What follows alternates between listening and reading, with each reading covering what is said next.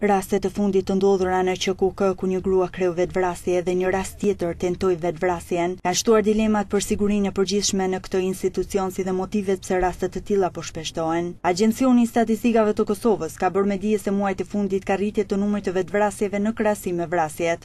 Ligjërues të psikologjisë kanë vënë në pah rëndësinë e një komunikimi të rregullt me psikologun, por që kanë theksuar se për kosovarët konsultimi me psikolog konsiderohet ende tabu. Varësisht prej departamenteve të ndryshme në QKUK, por edhe në vende të ndryshme të botës, domethënë preferohet që në shumë, në shumë prej tyre të ketë edhe psikologë kur ka shumë pacientë të cilët si për shembull mund të kenë probleme terminale apo probleme shumë të rënda domethënë me sëmundje të ndryshme. Ai theksoi se shërbimi psikologjik është shumë i nevojshëm në vende si Kosova për shkak të traumave të luftës dhe një tranzicioni vlerash nëpër të cilat ajo po kalon.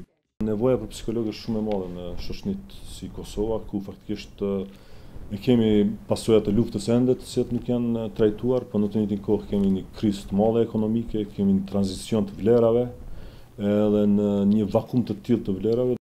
Edhe sociologu Ferdi Kamberi thekson se shërbimi psikologjik akoma konsiderohet tabu në vendin tonë dhe është e nevojshme të ketë më shumë informacion dhe komunikim mes njerëzve. Një faktor tjetër për mungesën e këtij shërbimi e rendit dhe mungesën e financave.